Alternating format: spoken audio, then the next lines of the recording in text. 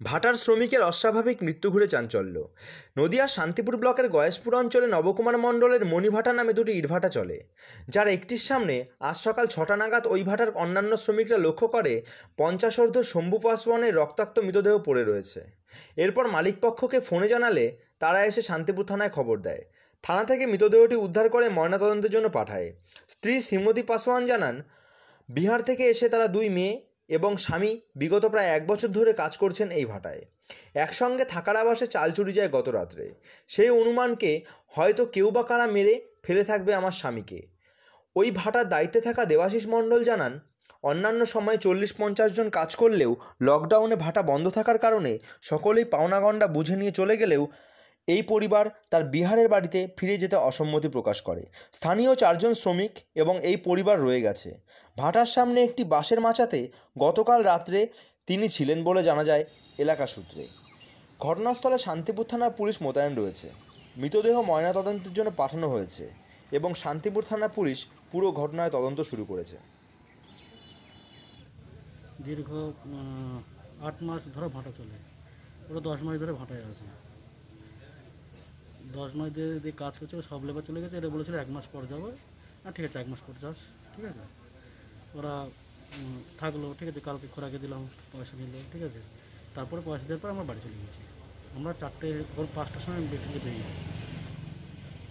সকাল সকাল নটার সময় আসি পাঁচটার সময় বেরিয়ে যাই। হুম। তো আজকে সকালবেলা আজকে আজকে তো সাতটার মধ্যে ঢুকেছি মানে এই ঘটনা ঘটার পরে। এখন তো কাজ নেই সেজন্য আমরা সকাল সকালে মানে আপনি শুনলেন কখন?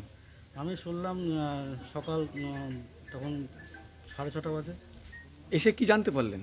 এসে তো দেখলাম তখন পুলিশ চলে এসছে। বিস্তারিত তারপরে আমি এসে শুনলাম। উনি কত বয়স ওর মোটামুটি?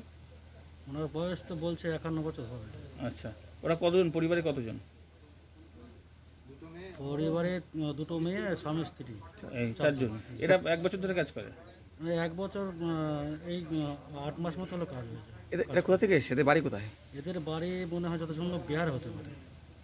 এখানে কতদিন ধরে কাজ করছে? এখানে কাজ করছে ধরো এই আট মাস মধ্যে কাজ হবে। আচ্ছা এই এর আগে কখনো এরকম কোনো অভিযোগ শুনেছেন ওনাদের নামে? না আমি আজ পর্যন্ত কোনো অভিযোগ শুনিনি। এমনি উনি মদ খায়। উনি সপ্তাহ হলে সপ্তাহ দিন প্রচুর মদ খায় ঠিক আছে? আচ্ছা। তো কালকে এই যে আপনার ভাটার সামনেই যেখানটা একটা মাচা করা রয়েছে ওখানে উনি শুয়েছিলেন রাত্রিবেলা? না এটা তো আমি তো রাতে থাকি না এটা বলতে পারব না ঠিক আছে? এটা এসে শুনলাম যে এখানে মাচাই রাতে এখানে ছিল ঠিক আছে? হ্যাঁ ওর স্ত্রী তাই বলছে। হ্যাঁ। কি হতে পারে? এটা তো আমি ঠিক বলতে পারছি না এটা কী হয়েছে ঠিক আছে? আচ্ছা। আপনারা কি কোনো ব্যবস্থা নিচ্ছেন? মানে থানার হ্যাঁ থানার যথেষ্ট হেল্প করছে ঠিক আছে? যতটা সহযোগিতা ততটুকু করছে ঠিক আছে? যতটুকু জানকারি ততটুকু জানকারি আপনাদের এখানে কি সিসি ক্যামেরা আছে? সিসি ক্যামেরা নেই এদিকটা নেই। এই দিকটা নেই? এদিকটা নেই। ওইদিকে আছে? ওদিকে আছে। ক্যামেরা বেশিরভাগই ড্যামেজ হয়ে গেছে বাজ পরে নষ্ট হয়ে গেছে আচ্ছা। নাম আর ভাটার? আমার নাম ডাক নাম গুরু হুম ভাটা হচ্ছে মণি ভাটা। ভালো নাম? ভালো নাম দেবাশিস। ভাটা ভাটার নামটা যদি বলেন। মণি ভাটা। আপনার নাম? আমার নাম দেবাশিস মণ্ডল। দেবাশিস মণ্ডল। আপনি ভাটারি মালিক তাই তো? না আমাদের জয়েন্ট ফ্যামিলি আমাদের মেন মালিক হচ্ছে উম, নবকুমার মণ্ডল আমরা তার ভাইপো। আচ্ছা ঠিক আপনারা দেখাশোনা করেন এটা? আমরা দেখাশোনা করি আমরা এখানে দুজন এটা কোন জায়গা? এটা গয়েশপুর। পঞ্চায়েত গয়েশপুর তো? হ্যাঁ? গয়েশপুর জায়গাটার নাম গয়েশপুর? হ্যাঁ পঞ্চায়েত। পঞ্চায়েত ঠিক ওকে। নদিয়া থেকে জগন্নাথ মণ্ডলের সঙ্গে রিন্টু মৈশানের রিপোর্ট স্টার নিউজ বাংলা।